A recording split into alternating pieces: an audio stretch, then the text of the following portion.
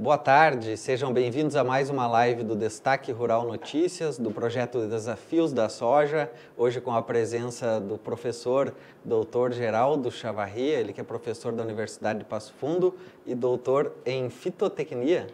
Exatamente, com ênfase em fisiologia vegetal. Tá certo, professor. Seja bem-vindo. É um prazer tê-lo conosco e obrigado por aceitar o convite de dividir seu conhecimento com a nossa audiência. Muito obrigado, tia. É sempre um prazer uh, conversar com vocês aí da Destaque Rural. Professor, estamos num momento uh, bastante com um clima muito tenso, né? Uhum. Com muitas chuvas agora na época de semeadura. Logo aí se encerra a janela de plantio no dia uhum. 15 aqui na nossa região, em algumas regiões do estado um pouco mais tarde. E o, professor, e o produtor não conseguiu colocar essa semente no uhum. solo ainda, né? Uh, qual é o panorama que o senhor tem visto aí na região? Certo. Eu acho que a gente não teve, além da água por si só, não é das, das chuvas excessivas e essa quantidade de água que a gente tem tido em escala, tem outro aspecto importante a ressaltar, que é a temperatura de solo. Não é? De maneira geral, o ideal para soja seria 25 graus. Até 20 graus é uma condição adequada para a temperatura de solo, não é? Para que a gente faça uma semeadura. Em algumas situações a gente tem visto uh, plântulas de soja com problemas de desenvolvimento. Em alguns casos, alguns produtores imaginando que se trata de algum problema de podridão, aí depois se faz uma avaliação, vê que não é. Lembrando da nossa experiência, não é da safra passada nesse sentido, não é? Nessa safra em específico, a gente tem esse aspecto, o solo frio. Então, é interessante que o produtor tenha lá um termômetro, desde o mais simples possível, para fazer essa medida da temperatura do solo e estabelecer, ou seja, 20 graus dali para cima. Temperaturas mais baixas, o que acontece? As membranas das células elas não estão aptas ainda para a movimentação de água. E a água vai entrar abruptamente nessas sementes e vai causar danos. A gente tem um reflexo mais para frente. Então, o ideal, por mais que a gente esteja, e sempre é a lógica básica do semear e de acertar o momento, não é? Tem alguns trabalhos americanos que mostram que a arrancada da lavoura, ela bem feita, com a semente protegida, estimulada, no momento adequado, com disponibilidade de nutrientes e tudo mais, tu pode definir a metade do teu rendimento, se não for um ano absurdamente adverso. Então, por isso a arrancada é fundamental.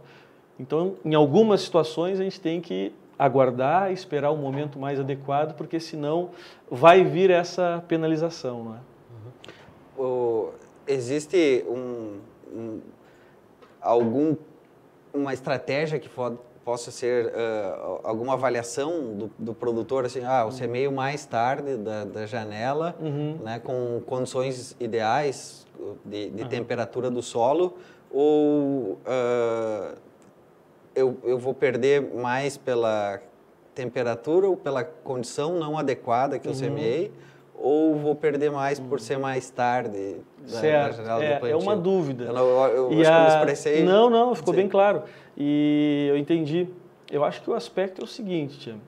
O primeiro ponto é, quando semeia mais tarde a soja, ela responde ao que a gente chama de fotoperiodismo. Uh, o fotoperiodismo é o comprimento do dia. Na verdade, ela, ela faz essa leitura pelo comprimento da noite. Então, passado dezembro ali, uh, 21, 22, e que a gente começa a ter essa variação da noite ficar uh, levemente mais longa, ela tem a percepção e induz o florescimento. Então, independente disso, se eu semear um material lá na primeira, primeira semana de, de novembro, final de outubro, ou semear no dia 15 de novembro ou mais tarde, qual é a penalização para o funcionamento da planta? o ciclo vegetativo ele vai ser menor. Então a capacidade de produzir reservas para pagar a conta da empresa planta vai ser menor. Essa é a penalização.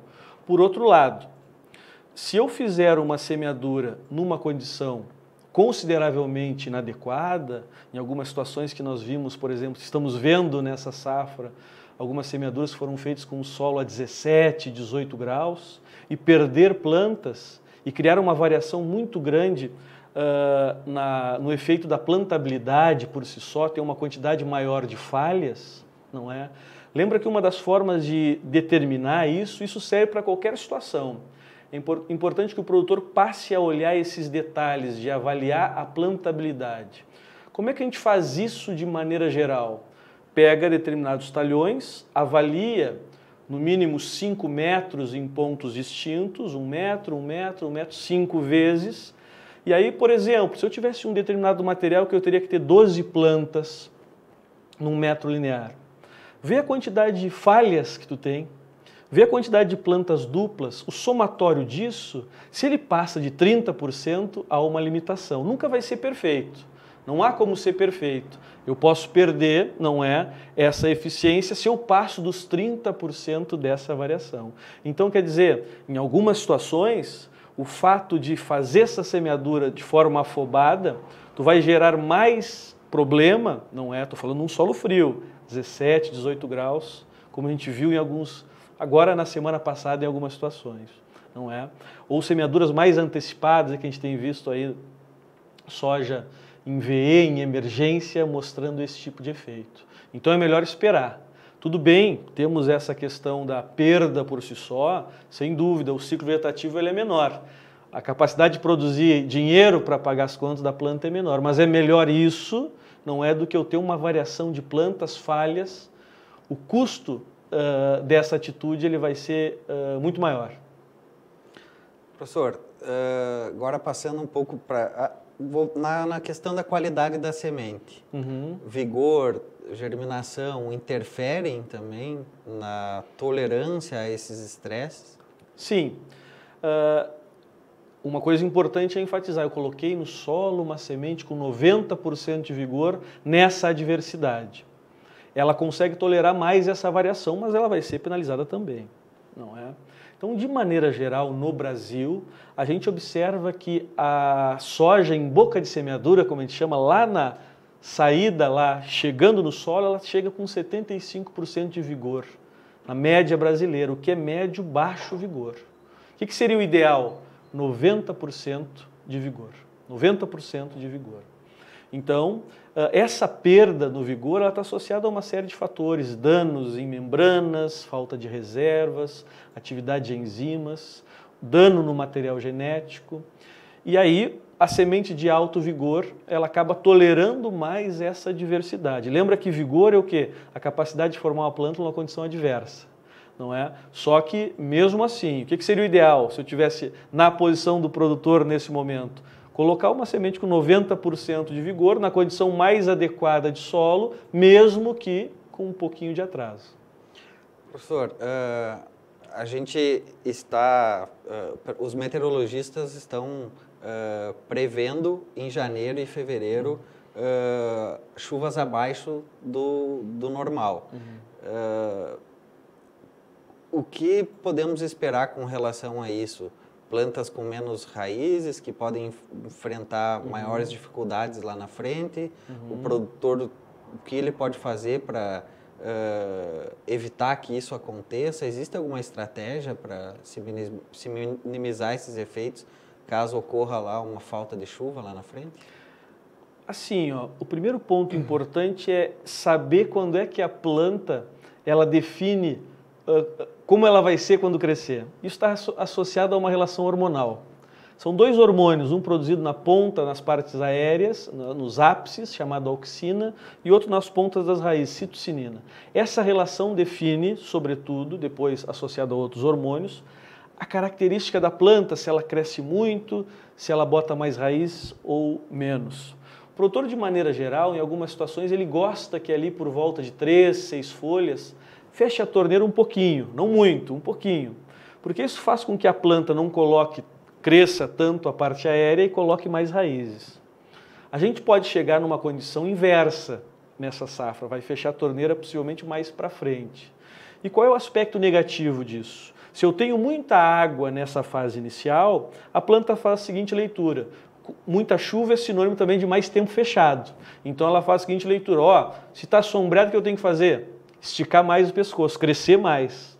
Por outro lado, a água está mais fácil, não tem por que eu investir tanto em raízes. E lá na frente há um preço nesse sentido. Posso fazer algumas estratégias, estimular o enraizamento, existem ações, obviamente, nesse sentido. Existem ações até mais agressivas vinculadas a travamento da soja, que melhora também esse enraizamento.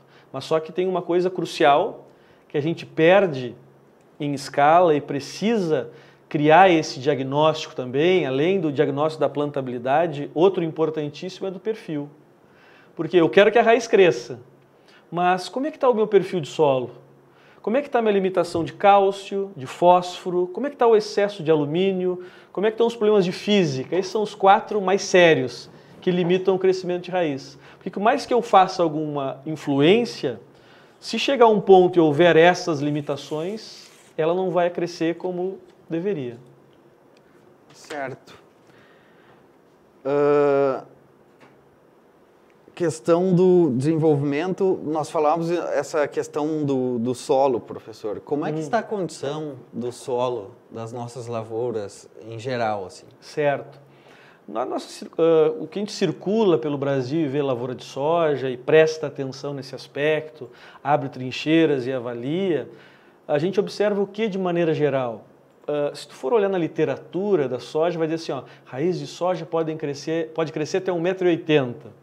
Já vi situações pontuais em alguns produtores em alguns locais do Brasil assim. De maneira geral, qual é a nossa realidade? 80% das raízes está a 20 centímetros. E isso é péssimo. Para a nossa realidade, aqui no entorno de Passo Fundo, alguns solos aí de alto padrão do ponto de vista de quantidade de argila, etc., o que, que seria o ideal? Que nós tivéssemos 80% das raízes a 40 centímetros. Mas para eu dar essa condição, eu preciso que esses 40 centímetros ele seja homogêneo. Então a gente vem trabalhando numa estratégia nesse sentido. Como é que é essa estratégia? A gente, o que se fala de análise estratificada de solo, de maneira geral, é o quê? 0 a 10, 11 a 20. Duas camadas. Só que já tem um problema. 0 a 10, às vezes eu tenho concentrações de fósforo e cálcio em superfície, 0 a 5, 0 a 4, 0 a 6. Então a gente passou a fazer uma análise diferenciada, 0 a 5, 6 a 10. Aí eu faço o quê? Eu caracterizo se há ou não um gradiente de fósforo criado em superfície. Ponto. Segundo aspecto, 11 a 20. Isso aí é para todos os elementos, macro e micronutrientes e o alumínio. Depois, 21 a 40. Para que fazer tão fundo? Porque eu quero que a raiz tenha essa possibilidade de ir até lá, se ela precisar. Aí eu olho elementos de carga positiva, olho o enxofre, o alumínio, ou seja, ah, eu estou usando gesso, está baixando os elementos de carga positiva, o, o cálcio, o potássio, o magnésio, estou construindo aquilo que a gente fala tanto, não é? De construir o perfil. Uh, como é que está o enxofre? Tem que usar gesso para reduzir o alumínio em profundidade?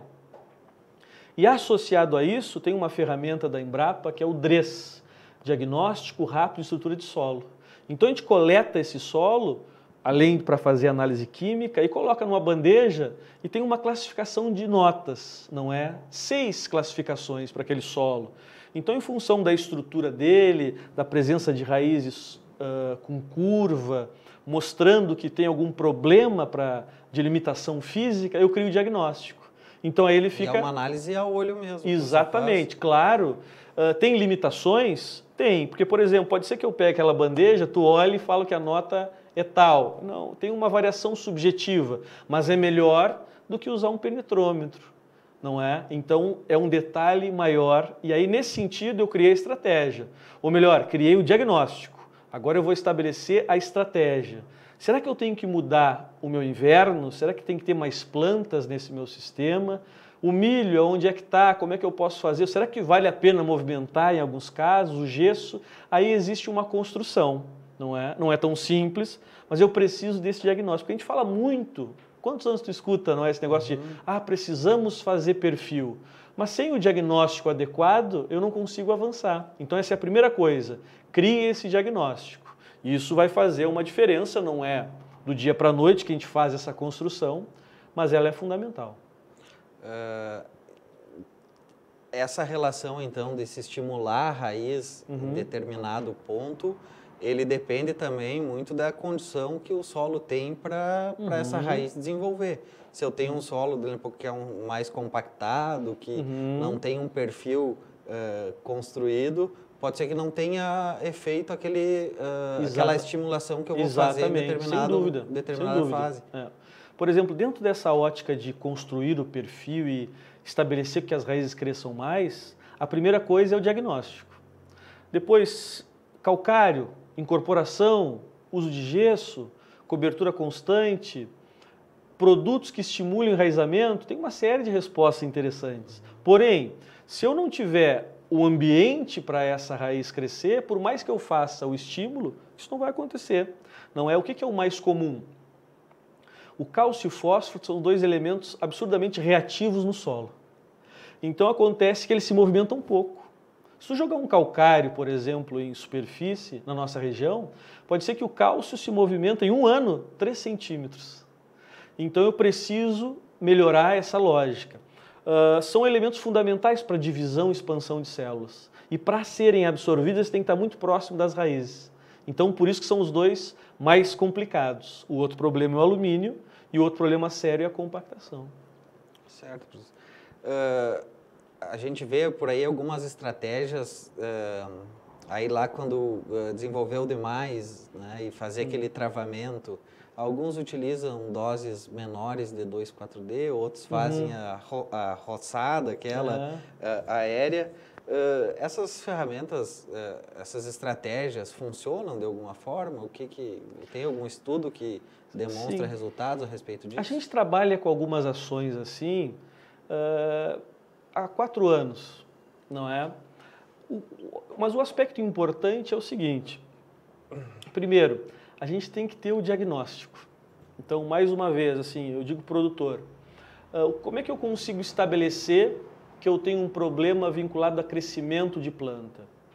Primeira coisa, a soja de crescimento indeterminado, de maneira geral, da plena floração, da plena floração até o início do enchimento de grão, R5.1, ela pode colocar 40% a mais de planta. Então eu só consigo diagnosticar efetivamente se essa minha planta está crescendo em demasia no início do enchimento de grão. Qual é a nossa estratégia? Eu venho trabalhando com três aspectos. Entra na lavoura em R5.1. Está passando da cintura, tem mais de 70, 80 centímetros, ó, esse é um, o primeiro aspecto. Arranca a planta e vira de cabeça para baixo. Quantas camadas de folha eu tenho? Plantas que têm mais do que cinco camadas de folha, elas têm, vamos dizer assim, ó, muito funcionário para pouco espaço na empresa. E aí, como eu já fiz, possivelmente nesse momento, uma, duas aplicações de fungicida, e eu estou manejando a área, eu sei se aquelas folhas que caíram no terço inferior, elas caíram por pressão de doença ou elas caíram por sombreamento. Aquela famosa canela, não é? Seis, oito nós sem fertilidade. Então, quer dizer, se desses três aspectos, dois bateram, eu sei que para a próxima safra eu tenho que mudar. Mudar o quê? Primeira coisa, reduzir planta. Não, não adianta, muda o material. Existe outra ferramenta que são os travamentos.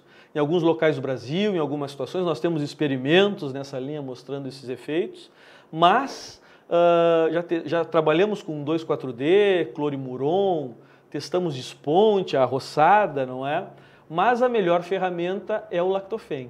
É um herbicida de contato que ele gera uma fitotoxidez no ápice e queima o ponteiro. Dá uma travada e melhora a ramificação.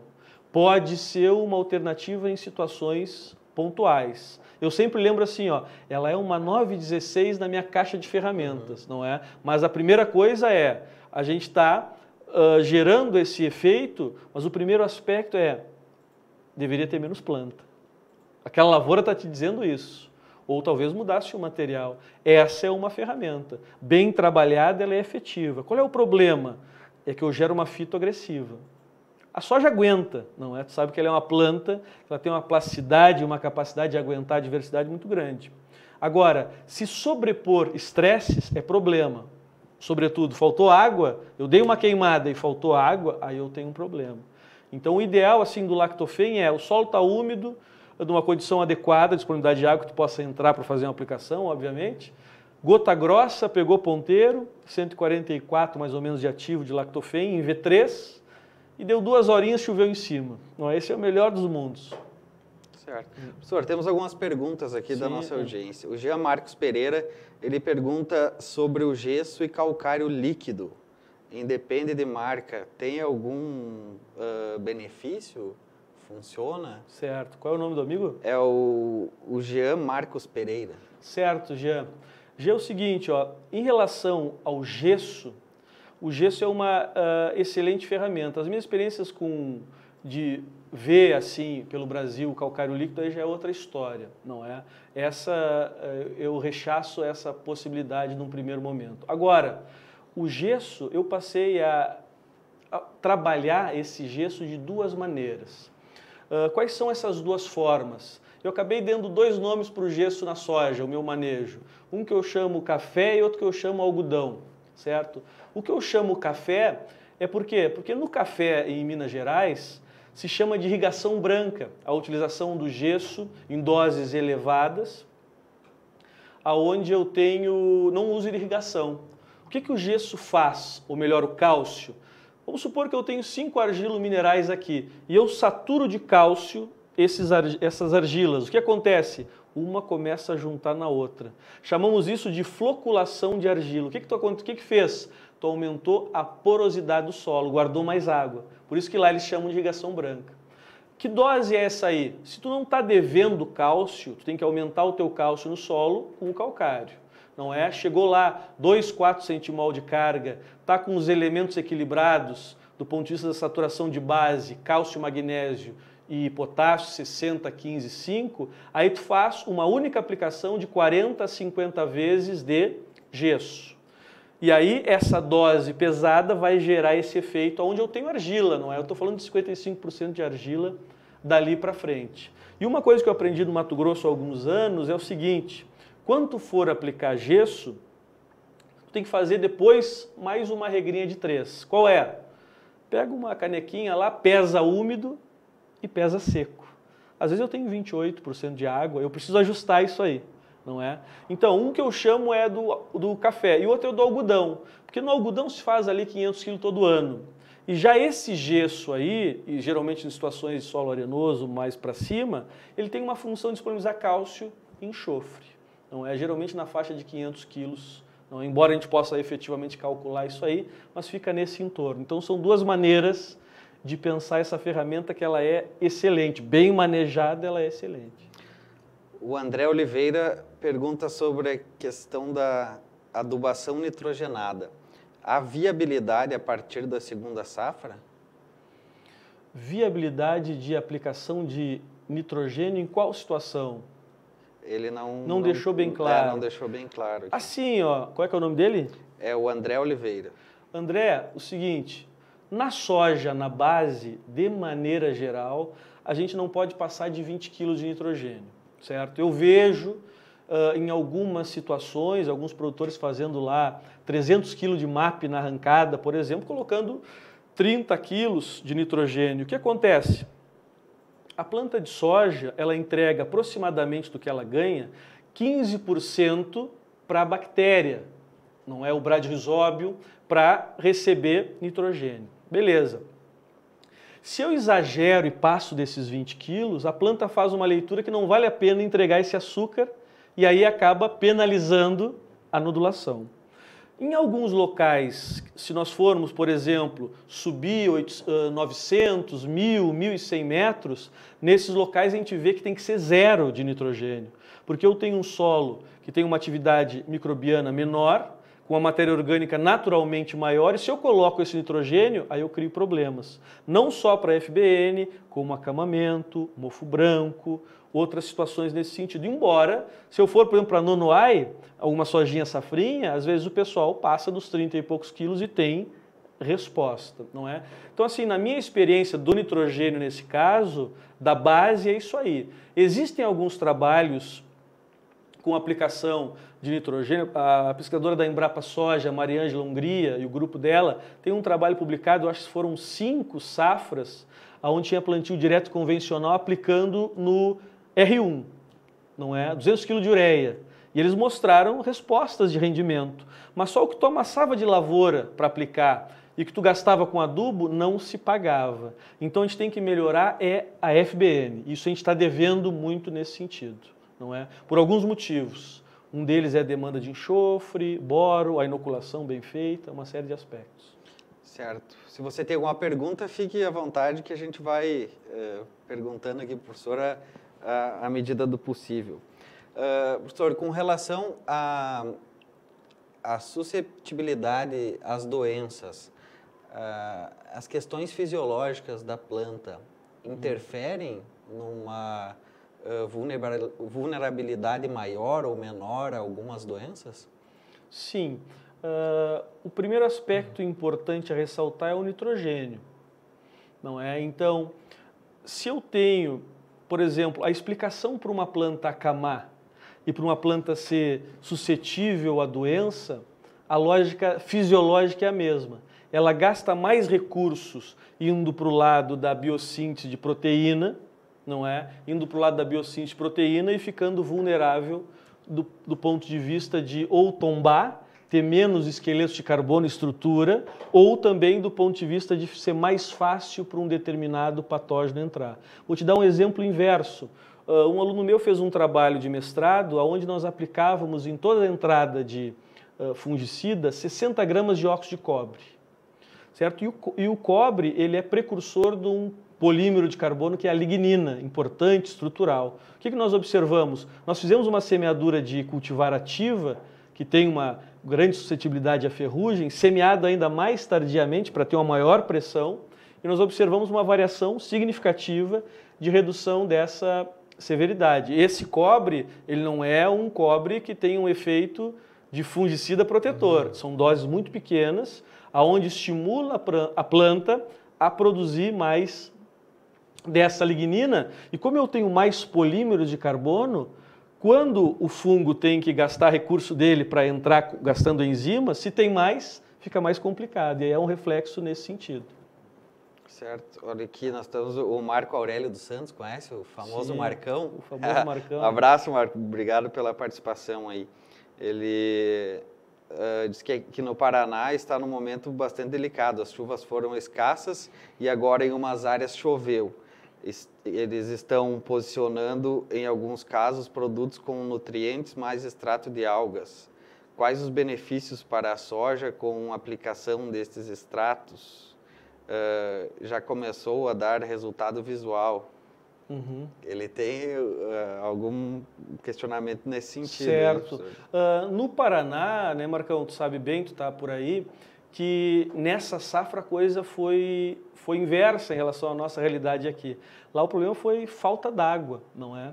Eu tive olhando na semana passada na região de, de Palotina algumas situações de plantas ali uh, com alguma, alguma coisa de legume e tu vê que ela travou, não avança mais no desenvolvimento. Geralmente semeaduras ali na primeira semana de setembro foram as mais uh, com, tiveram maior quantidade de problemas, mais penalizados. O cara semeou no pó, aí choveu alguma coisinha de nada, a semente ficou inchada no solo ali por umas duas semanas e depois começou esse desenvolvimento já nessa, nessa condição. E, obviamente, sobretudo a questão dos extratos, extrato de alga ele tem uma relação também com muito antioxidante. E toda vez que a planta passa por essa diversidade, ela produz o que a gente chama de estresse oxidativo não é sujeira dentro das células. E esse tipo de ação é efetivo.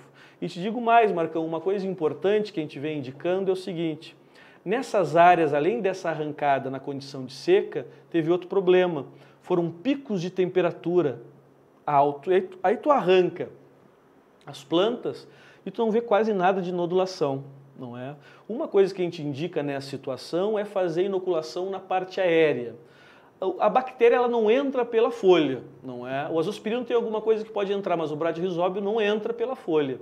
Então o que, que tu pode fazer? Coloca de 8 a 10 doses comerciais num volume de calda elevado, 150, 180 litros, e faz uma aplicação quando tiver para chuva, não é? Com qual objetivo? Escorrer e haver uma reinfecção. Não é? Então, esse tipo de situação a gente indica, nos últimos três anos a gente vem observando alguma resposta interessante nesse sentido.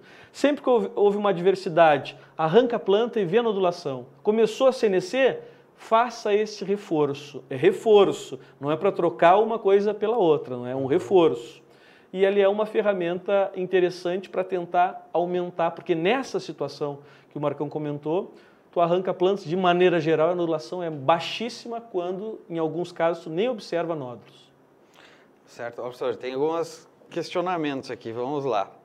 Uh, o Bruno Soares, sobre adubação foliar, quais os nutrientes posso aplicar via foliar para obter ganho de rendimento? Certo, isso é complexo, né, cara? Assim, eu vou te dizer, uh, dependendo da realidade aonde o Bruno está, isso tem uma resposta absurdamente distinta. Uh, as minhas melhores experiências com a aplicação de elementos na folha são duas. A primeira delas é cobalto e molibdênio até V3 com um foco vinculado à FBN. Não é? Então esse é um, um aspecto importante. Depois que surgiu o tratamento de semente industrial, e às vezes comercialmente as empresas não fecham com com o determinado produto, com cobalto e molibdênio, aí o produtor vai ter que retratar em casa e não vale a pena isso. Então ele pode colocar na folha até V3 e ter respostas nesse sentido, V3, V4, não é cobalto e molibdênio. Existem uma série de ações em relação a nutrientes. Um dos que me chama mais atenção, que eu tenho respostas por mais tempo, é a aplicação do potássio em R5.1. O potássio, como qualquer macronutriente, eu não tenho, é importante ressaltar isso, eu não tenho como nutrir uma planta com macronutrientes colocando na folha. Mas, Geraldo, como é que está falando que tem resposta com potássio colocando na folha e tu não consegue nutrir essa planta? É um bioestímulo, não é? Eu estimulo essa planta a movimentar mais o potássio que ela tem. A planta de soja, no primeiro terço de vida dela, ela absorve a metade de fósforo e potássio de toda a demanda dela. E aí acontece que posteriormente a isso, ela começa, absor segue absorvendo, mas tem no período reprodutivo muita realocação. É um, do, um dos elementos mais importantes em movimentação de açúcares. Então a gente tem experiência com o potássio no R5.1, nesse entorno, melhorando e tendo reflexos positivos. Mas aí o importante é o seguinte, aonde é que eu coloco esse potássio? É na área fraca de potássio ou na área boa? É na área boa. Eu não posso dizer para ti o seguinte, ah, tu errou o potássio, coloca na folha que vai responder. Não. Ou seja, manejou bem o potássio da base, coloca na folha que a resposta é mais efetiva.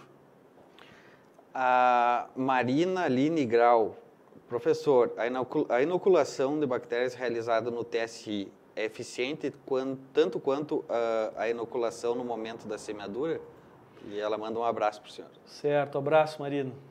Uh, o seguinte, Marina, de maneira geral, a gente já testou, a gente sabe que uh, tem registrado no mapa alguns produtos que dizem até uh, a possibilidade de fazer inoculação em 60 dias, não é? E ficar em contato com fungicida, com nutrientes, não é? Na semente. A gente observa na prática que na melhor das situações a gente observa algo em torno de 10 dias. Então eu me sinto mais confortável nesse entorno, 7, 10 dias. Porém, quando a gente olha os custos e as possibilidades, eu sempre vejo o seguinte: a melhor ferramenta que nós temos para a inoculação de soja é a inoculação no sulco, sem dúvida nenhuma. O que ela tem de diferente a inoculação no sulco? A diferença é que eu me afastei da semente. E como eu me afastei da semente, eu me afastei do fungicida me afastei de nutrientes também. Por exemplo, uma das formas, Marina, mais comuns de fonte de molibdênio, nós temos é o molibdato de sódio. E o sódio gera um efeito, como tu sabe, salino. Então, o que acontece nesse sentido? Tudo isso prejudica a, a multiplicação de bactérias numa fase bem inicial. Então, se eu coloco no sulco, eu acabo tendo esse distanciamento. Ao mesmo tempo que o distanciamento é bom, ele também é ruim, porque a corrente de infecção ela acaba demandando mais bactérias, por isso que as doses são maiores. Tá certo. Ó, o, Mar, o Marco já está oferecendo um churrasco lá. A hora que o senhor passar por Palotina é para parar fechado, lá então. que ele vai. Uh, professor, uh, acho que vamos aí já nos, in, nos uh, encaminhando para o final da nossa live. Eu gostaria que o senhor fizesse algumas considerações aí finais e passasse uma mensagem para o nosso produtor. Certo. Eu acho assim, ó, cada safra é, é momento Uh, tem, nós temos todo esse foco e todo esse entusiasmo, mas é sempre momento de aprendizados, não é? Então, a gente tem que começar a ser mais efetivo e assertivo do ponto de vista de criar diagnósticos. Então, a gente, a gente fala tanto nesse fazer perfil, somos, uh, somos tanto uh, penalizados no ponto de vista de desenvolvimento, uh, do, do, crescimento radicial das plantas e também pela capacidade de guardar água no solo, que nós precisamos fazer uma avaliação mais detalhada. Como eu te comentei, vamos avaliar mais com mais detalhe esse perfil, caracterizar, ó, então esse é o diagnóstico. Então vamos qual é a estratégia? Vamos melhorar isso. Outro diagnóstico importante da plantabilidade. Como é que está a minha semeadura? Como é que está a qualidade? E ela é um tripé. Não é? São três aspectos importantes: é a semente, é o processo de semeadura por si só e é a presença do fertilizante. E tudo isso se completa, certo? Por exemplo, não adianta eu ter uma semente com 90% de vigor, de vigor, semear 4 por hora e ter um fertilizante que segregou e um adubo formulado ele segrega. O elemento mais pesado cai primeiro, o mais leve cai depois, então cai mais fósforo primeiro, potássio depois, e eu crio variações. Ou pode ser que eu tenha um adubo complexo de alto padrão, uh, tenha uma semente boa e semeia 8 por hora. Então, se eu não fechar esse triângulo, a coisa não avança. Então, eu preciso avaliar isso posteriormente, avaliar a plantabilidade. Tenho falhas, tenho uh, plantas duplas, qual é esse percentual? Não é? E o outro aspecto é aquele crescimento excessivo. Não é? Um dos conceitos básicos da agricultura japonesa é a arte de colher luz. Então não adianta a gente ter a lavoura de soja, que parecer que está bem viçosa, mas aí tu vê quando tu bota a máquina não é tudo aquilo. Por quê? Porque ela viçar, crescer em demasia é sinônimo de não chegar luz e produto como deveria. Então cria esse diagnóstico também, vê lá no início do, do enchimento de grão se ela está crescendo e se para a próxima safra eu preciso mudar alguma coisa. Uhum.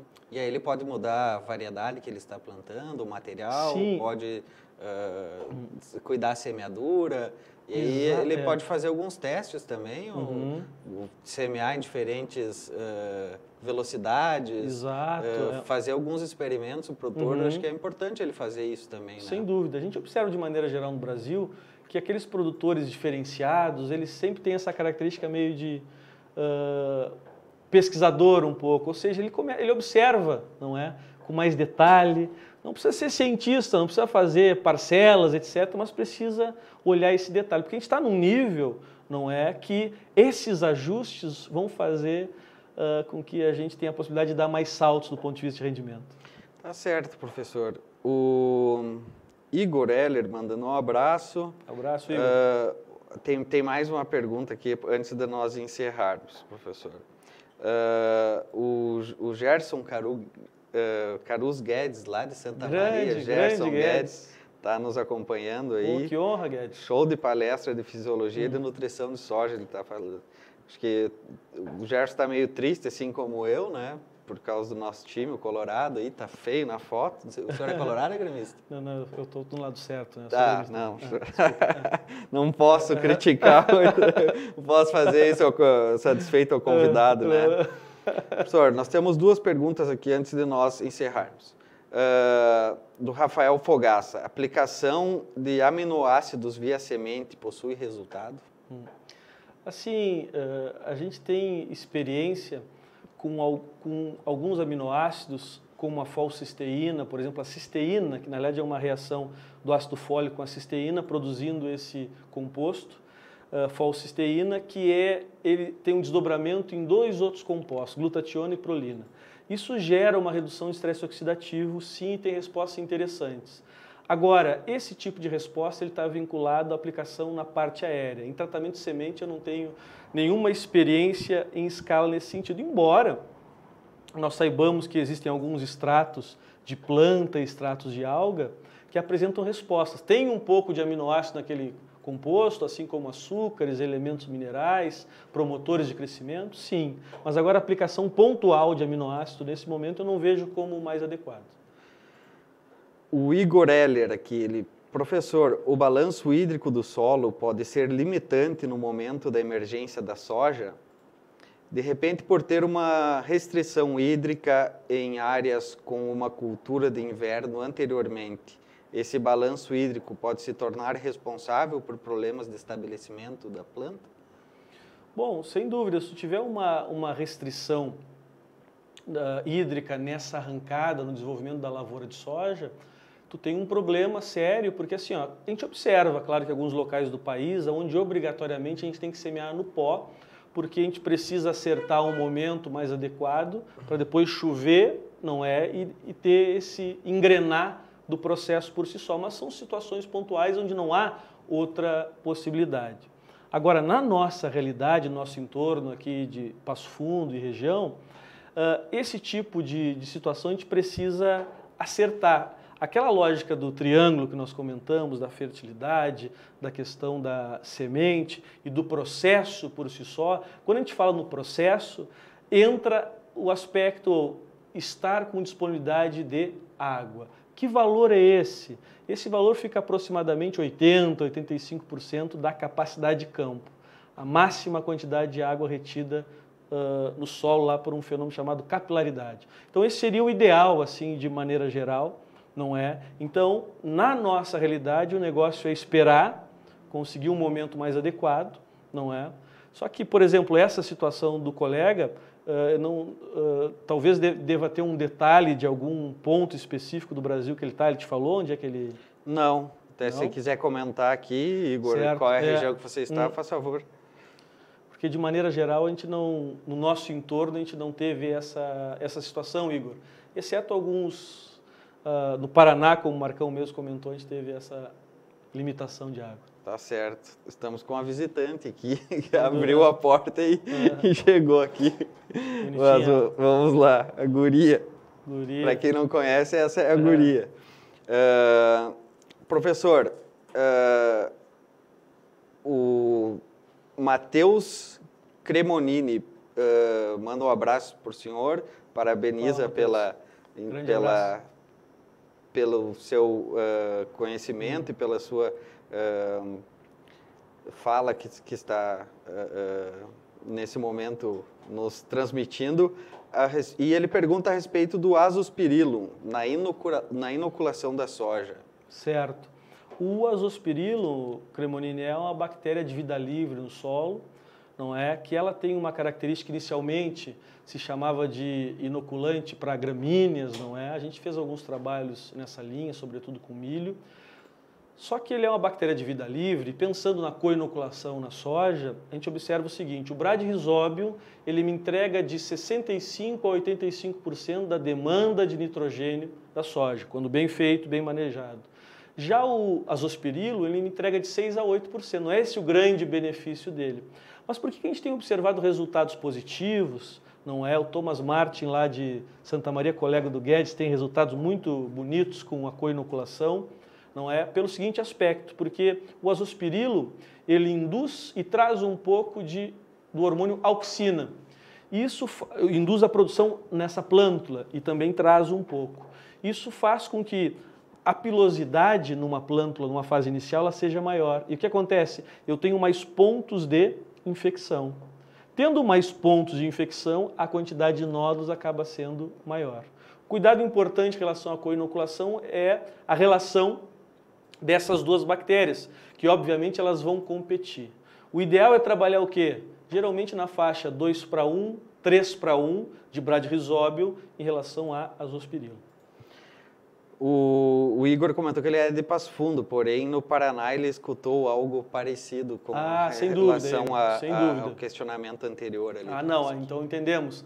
Então, nesse sentido, é aquilo que o Marcão comentou, que nós vimos na semana passada, não é? Geralmente nesse, uh, nesse entorno aí onde, nós, onde o Marcão está, O normal é que se faça semeadura ainda dentro do vazio sanitário para que ela, a soja comece a germinar quando sair do vazio ali no início de setembro. E aí muita gente fez esse tipo de ação, mas não tinha água disponível. O problema, desenvolvimento dessas plantas, quantidade de falhas, ela é considerável. Em alguns casos a gente observa e ainda se questiona se, aquelas, se algumas plantas elas vão conseguir se recuperar, gerar mais uh, brotações, desenvolvimento. O próprio Tiago uh, Madalos me comentou ontem, ele trabalha na Copacol, não é uma referência técnica lá da Copacol, mostrando e falando também sobre esses aspectos lá na região de Cafelândia, não é? Também com esse tipo de limitação. Tá certo, então. Professor, muito obrigado pela tua participação aqui no Destaque Rural. É sempre bem-vindo. Muito obrigado. E, e vamos uh, manter contato aí. A gente Sem dúvida. tem que uh, transmitir esse conhecimento aí. Conhecimento hum. compartilhado é, é, é, muito importante, né, professor? Uh, até hoje a professora comentou no evento que vocês realizaram a respeito hum. de alguns cursos que vão ser uh, uh, realizados na UPF daqui para frente, né? Não sei se, se você quer falar um pouco, aproveita. Uh, na verdade, assim, a gente vai voltar com o nosso curso de especialização em proteção de plantas, não é? Hoje nós tivemos aí um, um evento de proteção em soja, também tivemos uma parte inicial falando sobre a relação do funcionamento de plantas com a sanidade, não é, de maneira geral, e depois os colegas especificamente na área de pragas, na área de uh, fitopatologia, na área de tecnologia de aplicação também se discutiu e se, uh, uma série de aspectos dentro da lógica do manejo aí para a gente se preparar para essa safra. Uhum. Então, o nosso intuito é que cada vez mais nós tenhamos esse tipo de evento, não é? E lá foi lançado, então, uma, a próxima uh, edição do nosso curso de proteção, não é? Que já é bem sucedido uhum. e sempre tem uma demanda considerável. E começa quando esse? Agora vão abrir as inscrições, a gente vai mais para frente a gente vai divulgar certinho nas mídias sociais, porque ele tem uma lógica diferenciada nessa edição. Ou seja, tu pode fazer a especialização como um todo, não é? E ter lá uh, o título de especialista, ou também tu pode se, te interessar por módulos em específico. Ah, eu quero ver só a parte de fisiologia, eu quero ver a parte de tecnologia de aplicação. Também uhum, é possível pode. também de maneira mais focada, assim. E mais para frente a gente vai uh, detalhar mais questão de, de períodos, etc., nas mídias sociais aí. Vamos precisar da ajuda de vocês também. Com certeza, conte conosco. Uma boa tarde a todos, então. Obrigado pela companhia. Lembrando sempre que o Desafios da Soja e as lives que a gente faz toda semana aqui, às sextas-feiras, tem o patrocínio da BASF. E obrigado a todos, boa noite e até a próxima.